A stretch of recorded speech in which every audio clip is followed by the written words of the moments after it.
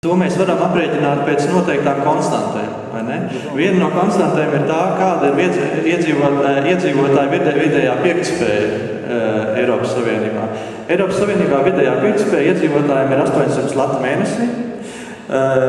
Latvijā tā ir 300 lati mēnesī, respektīvi 500 lati ir nu, tā pirktspēja, kas, ko mums ir kāds parādā. Respektīvi, ne jau tas, ne jau tas cik mēs paši nu, iegūstam caur savu darbu, tas nav tā domāts. Pirktspēja attiecās, vidējā pirktspēja attiecās arī uz zīdaņiem un arī uz miljonāriem, uz jebkuru. Ja?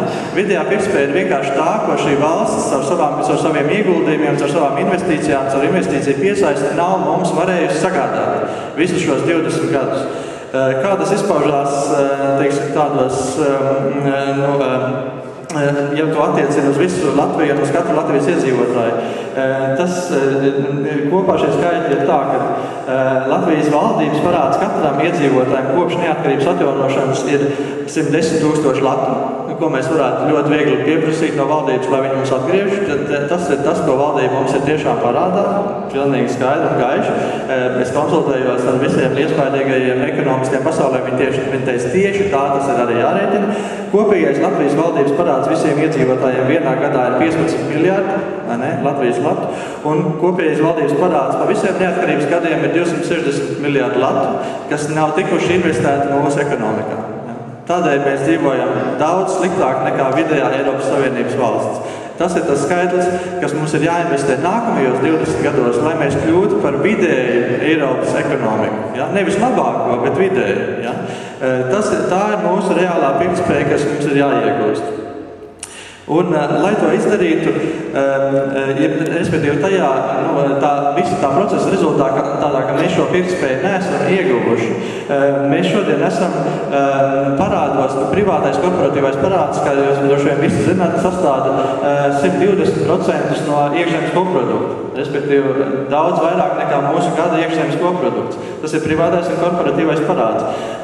Lai atbrīvotos no šiem nesamaksājumiem parādiem, mums ir jādara viena lieta ir jāpie, jādara sociālā um, likumdošana. Ja? Tas, kas mūsu valstī nekad nav bijis, mūsu valstī ne prezidents, uh, ne uh, likumdevējs, ne mūsu valdība, ne arī tiesas nekad nav sponsorējuši sociālu likumdošanu. Bet tieši otrādi prezidents ir sevi ap, apņēmis ar, ar, ar komisijām, kurās pārsvarā sēž banķieri, vai ne? Un tādi komercbanķieri komercbanku lobby, vai ne? Un, un lobby tieši pretēji likumdošana. Tad, kad tika izvirzīta iniciatīva par kredītņēmēju aizsardzību, ja? un, un normāla sociāla kredītņēmēja aizsardzība ir tas, kas, kas neļauj uh, valstī uh, ieslīgt tādos parādos, uh, tad prezidents uzlika savu veto, vai ne? Ka tas, nav, ka tas ir jā, vēlreiz jāpārskata un izgāja cauri daudz sliktāku likumdošanu gal galā.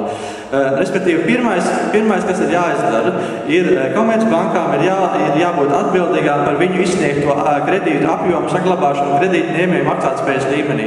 Tas ir vienmēr tā, tas ir visā pasaulē tā, maksātspējas līmenis nedrīkst būt zemāks par šo kredītu apjomu. Tas ir, tāpēc mums ir FKTK, tāpēc mums ir banku regulators, kurš pašlaik nestrādā, kurš strādā tikai banku interesēs, kurš rūpējas tikai par to, lai bankas būtu maksātspējīgas, bet nerūpējas nerūpējas par to, lai sabiedrība būtu maksātspējīga. Tas ir pirmais, kas, ir, kas ir jādara banka regulātoram.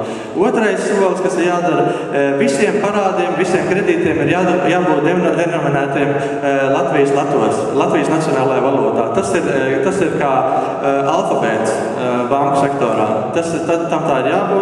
Ja tas tā nav, tad mēs iet, tad parādu riski un kredīta riski mums pieaug nu, tā fantastiski, vai ne? Jo, ja mēs redzam, ka mēs, mēs, mūsu parādi ir citās valūtās, kuras mēs nekontrolējam, tas nozīmē, ka šie parādi kredīta riski mums nav, nav, nav, nav nesami. Eh, ko mēs, tādā, ko mēs varam darīt? Tā kā katra neatkarīga valsts to var darīt, ja parādi ir eh, riskantās valūtās, tad mēs viņus denominējam atpakaļ mūsu pašu valūtā, respektīvi Latvijas Latvijas. To mēs varam darīt, eh, to jebkura ehm, neatkarīga valsts var darīt. Un tālāk, kas notiek ar īpašumiem? Ja īpašumi ir atsavināti, šodien bankas ir lielākie īpašumi nekustamā īpašuma turētāji, tad bankām nedrīkst ļaut šos īpašumus turēt, bet, bet gan viņām ir jāliek tie īpašumi ar likuma spēku, viņiem ir jāliek tie īpašumi atgriezt atpakaļ tirgū. un, respektīvi par tirgus cenu. Un tiem, kas ir bijuši šo, tie, kas ir zaudējuši, nu, kas bijuši hipotekārie parādnieki, kas ir zaudējuši šos īpašumus, viņiem ir jābūt pirmpirkuma tiesībām. Tā, lai viņi par pašreizējo tirgus vērtību, kas ir kritusies 60-70%, lai viņi varētu izpirkt to īpašumu un, un, un lai viņi varētu atkal kļūt par, nu, lai viņi atkal kļūtu maksātspējīgi. Par ko, es, par ko es runāju? Es runāju par to, ka ir nepieciešams sabiedriskās finanses. Eh, valstis un valdības, kas ir, kam ir pārmests, ka viņas, ir ne, eh, nu, ka viņas eh, neprot rīkoties ar finansēm, ka viņas ir nu, tādas bezatbildīgas un tā tālāk. Pēdējā krīze ir parādījusi tieši otrādi, ka ar finansēm neprot rīkoties privātie. Un ar, ar finansēm neprot rīkoties tie, kas vienmēr ir teikuši, ka kad, kad visa naudas radīšana un kad visa naudas pārvaldīšana jādod mums, respektīvi komercbankām. Vēl viena lieta, kas Latvijā ir tāda ļoti īpatnēja, tā, ka tās komercbankas ir pārsvarā ārvalstu komercbanku meitas uzņēmumi. Tas nozīmē, ka mūsu banka tur nemaz nav. Par ko mūs visi, teiksim, starptautiskais valodas fonds šausmīgi slavē, ka tas tā ir. Ne? Ka mēs esam visu banku sistēmu atdevuši ārzemniekiem. Tas ir pilnīgi nepareizi. Respektīvi, nepareizi ir divas lietas. Pirmā lieta, komerc sistēmai ir jābalzējas uz nacionālajiem resursiem. Otrais ir tas, ka ir jābūt sabalansētai gan valsts sektoram, gan privātajam sektoram. Nevar vienkārši dogmātiski un ideoloģizēti teikt, ka viens no tiem sektoriem ir slikts pats par sevi vai ne, un bezatbildīgs. Abiem tiem sektoriem ir jābūt. Bankas nekad nerūpēsies par to, lai sabiedrībai būtu izglītība, lai sabiedrībai būtu veselība un lai sabiedrībai būtu uh, sabiedriskā infrastruktūra. Par to ir jārūpējas valstī. Un par to valsts rūpējās, uh, lai atbalstītu tieši privāto infrastruktūru, lai, lai neuzvēltu privātajiem visas izmaksas. Eh, lai, lai to izdarītu, ir jābūt labai banku kapitalizācijai sabiedriskajā sektorā, kas mums ir eh, ļoti labi iespējams. Mums ir pieejami gan Eiropas Savienības struktūra fondi, mums ir valsts valdības maksājuma fondi, eh, Latvijas bankas kredīti, kas nenozīmē drukāšanu, ja? kas visā pasaulē jau sen vairs nenozīmē drukāšanu. Mūsu bankas nav piesaistītas zelta standartam, mums ir vienkārši jā, jā, nu, jādzīvo tajā sistēmā un tajā, tajās iestrādēs, kas darbojas visā pasaulē. Un, uh, Latvijas banka, diemžēl, ir pati sev uzlikusi uh, blokādi šai, šai iespējai ar savu, man šķiet, 39. pantu, vai ne, kas viņai neļauj pirkt valdības obligācijas. Tas nekur pasaulē tā nestrādā. Tas pants ir jāņem ārā, un mums atkal ir jākļūst par normāliem valdību, lai valdības projekti varētu tikt realizēti. Un uh, arī pensiju fondi var tikt iekļauti um, šajā finansēšanas sistēmā. Tas nozīmē, ka ir jābalstās uz trim vaļiem. Ir jābūt valsts attīstības bankai, respektīvi nacionālā mēroga attīstības bankai.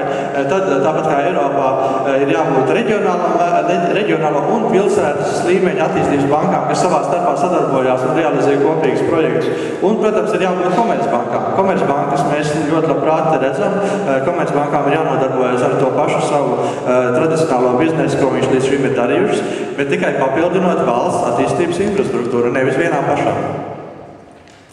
Eh, par industrializācijas politiku. Industrializācijas politika ir tiešā mērā saistīta ar to, eh, kāda ir mūsu naudas politika. Ja mēs šodien mūsu naudas politiku realizējam tādā veidā, ka eh, mēs Latvijas latu turam kaut kādā nesaprotamā, šausmīgi augstā līmenī, kad visi īstenībā mūs apsmēja par to, vai ne? Visi pasauli saka, ka jūs dzīvojat paši savā finanšu tādā dogmātismā. Tad, tad ir jābūt kaut kādai jēgai, kāpēc mēs gribam atbrīvot un, un atlaist šo nacionālo valodu piesaistītos tam tirgus kursam, lai viņi atrastu, atrastu savu patieso vērtību. E, tas ir, tas ir brīvais tirgus. Kā, bet kāpēc mēs to darītu? Mēs, mēs, mums ir jāizdara divi soļi vēl iepriekš. Mums ir jāizdara industrializācijas plāns, jāizveido, kādā veidā mēs inteliģenti industrializējam šo valsti, e, reindustrializējam. Mums ir bijusi industrija, ja, bet mēs viņu vienkārši esam sagrāvuši. Inteliģenti industrializējot, mēs pārvēršamies atkal pirmkārt, mēs savu iekšējo tirgu varam apmierināt savu, savu pieprasījumu, bet tad mēs varam kļūt arī par eksportētājiem. Un tajā brīdī, kad mums ir tā doma kļūt par eksportētājiem, tajā brīdī mums ir jādevalvē nacionālā valūta, un ne iepriekš. Jā, jo nacionālā valūta tiek devalvēta tāpēc, lai veicinātu uh, eksporta tirgus un lai veicinātu industrijas attīstību kā tādu. Un tad uh, strateģiskās rūpniecības un strateģiskās industrijas nozars mums ir jānosaka nedaudz ļoti pārskatāms, ļoti skaidrs, lai mūsu uzņēmējiem būtu skaidrs, kādā, kur, kādās programmās viņi strādās un kurās viņi noteikti būs valsts atbalsta un valsts finansējuma. Tās ir mežsaimniecība, kokrūpniecības nozars, tā ir lauksaimniecība un industriālā saskara nozars, kur iet iekšā arī mūsu nacionālā enerģētika ne, un, un enerģijas neatkarības samazināšana no, no, no, no ārvalstu piegādātājiem un mūsu geogrāfiskā stāvokļa izmantošana. Tas nozīmē transports un loģistika. Eh, protams, ir arī jāatbalsta nacionālajie čempioni, kas ir arī visā pasaulē pilnīgi skaidrs. Eh, autoindustrija Vācijā, Francijā un tā tālāk mums tas arī ir jātīst. Mums jau ir uh, svarīgi nacionālajie čempioni farmācijā, ķīmijas rūpniecībā, kur valstī ir jābūt lielākiem ieguldījumiem un, uh, un tā tālāk. Un tad ir pilnīgi skaidri nobeidzot eh, šo savu eh, nelielo runu. Es gribu teikt, eh, ka mums ir jānojauc pirmā galvenā ideoloģiskā barjera, kas mums pašlaik attur no attīstības, un tā ir nu, pilnīgi tāda dogmātiska piesaista eiro ieviešanai 14. gadā. Eiro ieviešana ir vajadzīga, ja viena vienotas valūtas sistēmas ieviešana ir izdevīga tikai valstīm, kas ir attīstītākas nekā citas. Eh, Latvijai, tikko Latvija būs attīstītāka eh, rūpnieciski nekā eh, kaimiņu valsts, mēs ar lielāko prieku iesim un teiksim, ka mēs ļoti labprāt pievienosimies kopīgai valūtai, kur mēs vairs nekā nevaram ietekmēt. Līdz tam brīdim mums tas ir pilnīgi izslēgts, mēs to nedrīkstam darīt. Mums ir, ja tikko saima, tikko prezidents, tikko valdība par to runā, mums ir momentā jāceļās, mums ir jāiet uz ielām un jāsaka, mēs gribam attīstīties un nevis neattīstīties. Mums ir jāpasaka pilnīgi skaidrs, ne, eiro 14. gadā, tikai tajā gadā, tikai tajā gadā, gadā, kad mēs sasniegsim video Eiropas pirktspēju, respektīvi šodien 800 latus mēnesī, tajā brīdī mēs ieviesīsim ļoti labprāt un visi priecīgi eiro. Lielas paldies!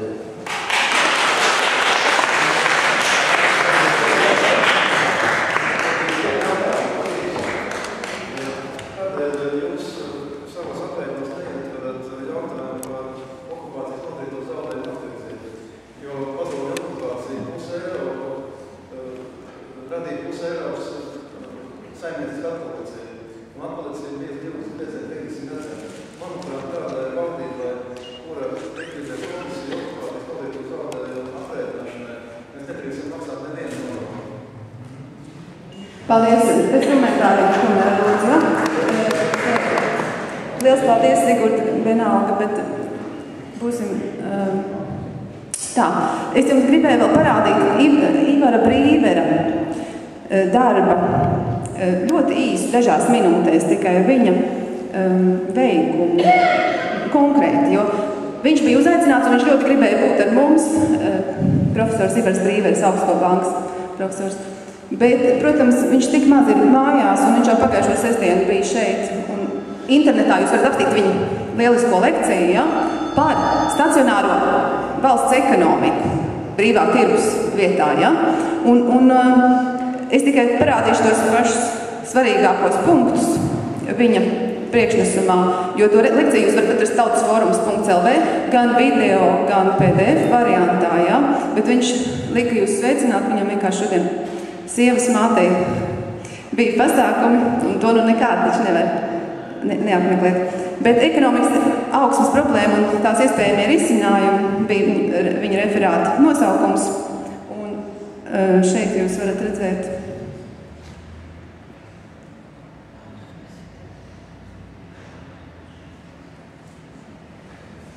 Šeit jūs varat redzēt um, stacionārā stāvokļa ekonomikas un autoriķejas um, rādītājus. Ja? Um, viņš, viņa absolūtais slēdziens ir, ka ekonomikas izausma un globalizācija iznīcina tautu un nacionālo interešu prioritāti, kas šobrīd Latvijā tiek apkarot, saist, ir jārealizē absolūti steidzoši, un tā saistās ar ierobežotu darba un kapitāla resursu kustību, ar virzību stacionārā stāvokļa ekonomiku, antiglobalizāciju, Latvijas un latviešu tautas saglabāšanu un attīstību, Latvijas iedzīvotāju interešu prioritāti pār ārvalstnieku interesēm.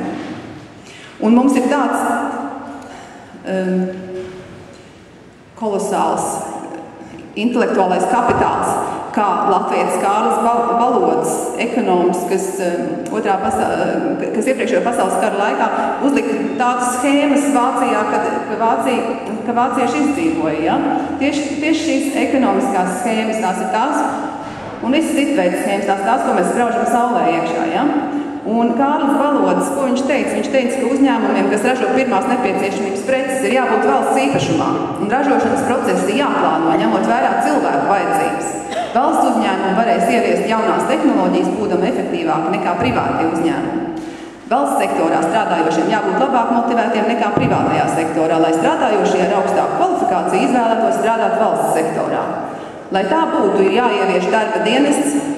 Tas ir tāds vairāk apstrīdams jautājums. Pēc darba dienas viņiem jānodrošina labu pensiju. Nu, tur tas, tas bija tāds par gadiem. Bet jūs saprotat, kas viņam ir par priekšlikumu. Vīriešiem ir jāstrādā tikai no 17 līdz 27 gadiem, un sievietēm no 15 līdz 22. Pēc tam viss ir pensijā. un saprotiet, tas ir apmēram tas, ko Georgs runāja par dažām stundām dienā. Ja? Mēs esam tā piemuļķoti. Mums ir tāda efektīva visa veida ražošanu, un industriju un, un komunikācijas. Un mums te liek strādāt kā vergiem. Tas ir nu, totāli cilvēku piemuļķošana. Cilvēki piecelies no ceļiem, izstiepies un paskaties. Tu esi Dievs, paskaties, cik tu esi stiprs. Nost ar verdzību. Un tātad eh, jautājums ir ļoti svarīgs, vai nav tā, ka ekonomikas izaugsme problēma ir vienkāršāka risinājuma. Un, Un, un kāpēc pieaugot produktivitātei, kas ļauj radīt fiksētu produktīvas daudzumu ar aizvien mazāku darba izlietojumu, cilvēku kopējais darba izlietojums nesamazinās, pat valstīs ir augsts dzīves līmenis. Nu, tas astoņas darba, darba stundas, tas taču ir vienkārši nu, vājprāts. Ja? Mums ir, mums ir tik produktīva, efektīva ražošana. Tur, tāpēc arī mūsu konceptā, cik mēs tagad esam balansējuši un skatījušies, to naudas summu var iedot katram. Um, iedzīvotājiem bez kāda darba. Jo ja jau tie roboti un ja jau tās eh, efektīvās industrijas strādā, kāpēc tad cilvēkam būtu jānodarbojas ar tā 8 stundas dienā? Ja? Tas ir lielākoties arī tie darbi ir pilnīgi piramīdas bezjēdzībām eh, kalpojoši. Un eh, tādā sakot, būs kolosāls jaunais laiks. Un vēl brīvers runāja par risinājumu, par trešo ceļu kur ir jānodala nefinanšu kapitāls, kapitāla preces no finanšu kapitāla. Un kapitāla preces ir privāta īpašumā, uzņēmuma īpašnieks gūst ienākumus gan ar savu darbu, gan kapitālu. Finanšu kapitāls ir sabiedrības valsts īpašumā. Ar to gūtā peļņa nonāk valsts budžetā. Sekmīgie uzņēmēji, kuru gūtā peļņa ir pietiekami liela, lai veidot finanšu uzkrājumus, to dara valsts bankās ar nelielu, bet droši fiksētu procentu likmi. Bet pie brīvā kapitāla kustības nav iespēja fiksēt procentu likmi. Un ko tad teica Kārlis Valods vai Ivars Brīvers? Ja nav iespējami, tad iztiksim bez brīvas kapitāla kustības. Un man bija sāpīgi skatīties, ka Ivars Brīvers to teikdams bija ļoti satraukts, jo viņš zināja, ka viņš patiesību tā vienkārši nevar teikt mūsu valstī. Un man sāpēja sirds, tāpat kā mums visiem sāp, par to, ka mēs nevaram teikt patiesību mūsu valstī. Un tas tā vairs nedrīkst turpināties. Un kāds valodas mūsu tautietis, uz tā mēs balstīsimies. Un viņa darbs Latvijas saimniecība pie spē, spējīgas un nespējīgas valdības 1928. gadā izdots. Viņš mums ir, lai gan viņš vēl nav izdots. Viņš nav bijis izdots Latvijas laikā. Šitāds, viņš vispār nav publicēts, viņš nav tautai pieejams, lai gan viņš nosargāja vācu tautu. Saprotiet paši. Tātad Tas arī bija tas, ko es gribēju piebilst. Paldies! Un um, lūdzu, kā nākamo runātāju, um, Es vēl piebildīšu to, ka Aivars Smagars ir saslims tautas veselības um, slokas slimnīcas um, valdes priekšsēdētājs. Viņš man šodien zvanīja, un um, viņam bērns slim, daudz tagad ļoti slimo, kaut kāds vīrus iet. Un es viņam teicu, ko lai es tev pasaku, ko lai es pasaku nodot no tevis cilvēkiem, kas atnāks. Un viņš man teica tā, ministrijās cilvēkiem nerūp. Ministrijās cilvēki nemīl tautu. Pasaki viņiem, ka ministrijās tautu nemīl. Ka nav ko gaidīt no ministrijām kādus risinājumus. Ja? Tāpēc tauta lūdzu organizējamies. Mēs paši, mēs varam. Un ja mēs to neizdarīsim, tad jau nav cerības. Bet cerība mums šodien ir iestādīta ļoti jau pamatīgi, un ir pavasars un viņa tīks. No, nākamā, kā nākamo runātāju lūkšu uz skatuves Ivaru Redisonu,